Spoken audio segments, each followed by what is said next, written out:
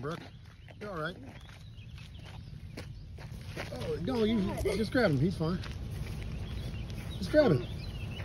How am I supposed to know? There you go. Now grab him. Now pick him up. Pick him up. Yeah, you're brave, aren't you, Brooke? Oh, you ain't scared of no snake, are you? I'm afraid that it's gonna bite Huh? me though. Yeah, just keep him away. And even if they bite, they're just they're no worse than the catfish. Boy, that's a nice one, ain't it?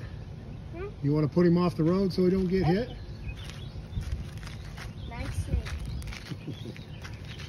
Hey, these are good snakes. They say they chase off all the poisonous ones, but there really ain't no poisonous ones around here. All right. Tell him bye. Bye. What do you got to say? I want to kiss it. You want to kiss? No, don't kiss the snake. All right. Say bye. bye.